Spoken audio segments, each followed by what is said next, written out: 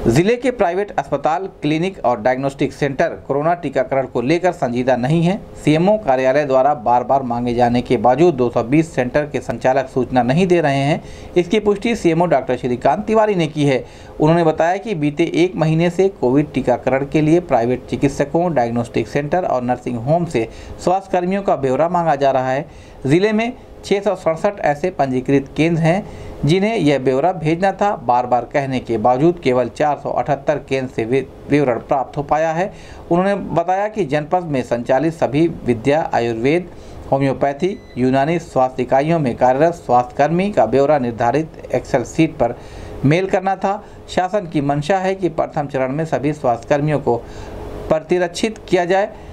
राज्य स्तर पर नियमित रूप से इसकी समीक्षा की जा रही है। सरकारी अस्पतालों के स्वास्थ्य कर्मियों का शत प्रतिशत विवरण प्राप्त हो चुका है। इस दौरान सीएमओ डॉक्टर श्रीकांत तिवारी ने बताया कि ज़िले के प्राइवेट अस्पताल, क्लिनिक और डायग्नोस्टिक सेंटर में से 70 फ़ीसदी केंद्रों ने विवरण उपलब्ध कराया है। उन्होंने चेतावनी दी है कि जो केंद्र गुरुवार तक कर्मियों का विवरण उपलब्ध नहीं कराएँगे, उनका पंजीकरण तत्काल प्रभाव से निलंबित समझा जाएगा। यदि वे चिकित्सकीय कार्य करते पाए गए तो उन्हें अपंजीकृत मानते हुए कार्रवाई की जाएगी।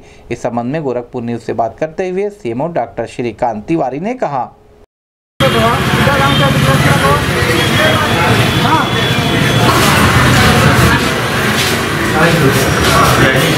वो यही चाह रहा था उसको मैं अभी भेजा। कर देना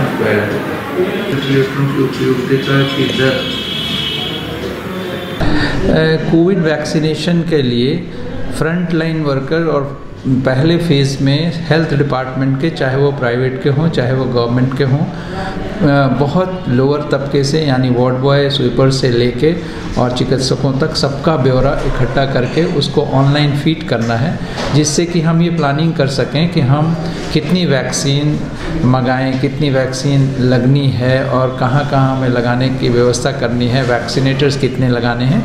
वो पहली पहले स्टेज पे ये चीज़ चलाई जा रही है।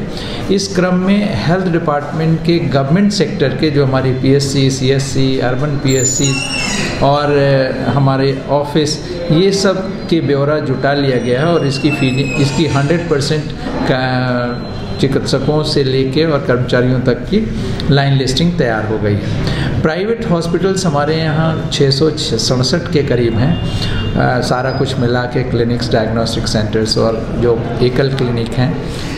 उनमें से बहुत बार रिपीटेड हम लोगों ने प्रयास किया, टेलीफोनिक कॉन्टैक्ट किया, उनके अध्यक्ष महामंत्री को भी बताया कि अविलंब ये शासन स्तर पर मॉनिटरिंग हो रही अविलंब आप अपने लिस्ट अपने कर्मचारियों की टोटल लिस्ट हमको मुहैया करा दें, जिससे कि बाद में अब फीडिंग शुरू होनी है, हम उसको फ़ीड कर सकें।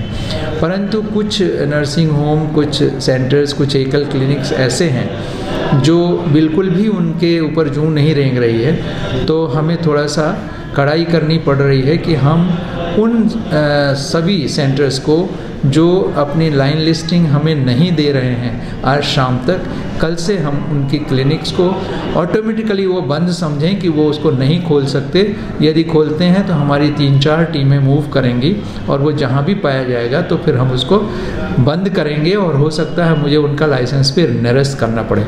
क्योंकि ये फ्रंटलाइन वर्कर्स के हेल्थ वर्कर्स के हेल्थ के में काम कर रहे लोगों के और डॉक्टर चिकित्सकों के, चाहे वो प्राइवेट गवर्नमेंट कोई भी हो, कोरोना से बचाव के लिए वैक्सीन वैक्सीनेशन उनका होना है, इसके लिए ये कवायद चल रही है। ये उनके भले का काम है, फिर भी वो अपने कर्मचारियों की लिस्ट नहीं दे रहे हैं तो ये बहुत ही गंभीर बात है और इसको शासन स्तर पर बहुत गंभीरता से लिया जा रहा है, इसलिए हमने ऐसा एक्शन लिया है।